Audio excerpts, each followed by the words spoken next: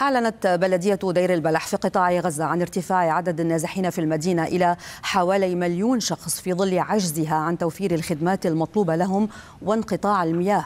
وقالت البلدية في بيان إن القرار الإسرائيلي الأخير بإخلاء عدد من الأحياء في مدينة دير البلح وكذلك طلبه إخلاء بعض المناطق في وسط وجنوب القطاع ترتب عليه العديد من الأزمات الإنسانية. أبرزها تقليص المنطقة الإنسانية في الجنوب من 30 كيلومتر إلى 20 كيلومتر الأمر الذي أدى إلى ازدحام رهيب وتكدس مخيف للأهالي في شريط ضيق في ظل الحر الشديد وما ينتج عن هذا الازدحام من أمراض وأوبئة. وأكدت البلدية عجزها عن توفير الخدمة المطلوبة للنازحين بسبب خروج عدد من آبار وخزانات المياه عن الخدمة لوجودها في المنطقة التي طلبت إسرائيل إخلاءها. فضلا عن تكدس النفايات في الشوارع والطرقات وفي مراكز الإيواء الأمر الذي سيترتب عليه انتشار للأوبئة والأمراض خاصة مع اكتشاف أول حالة إصابة بفيروس شلل الأطفال.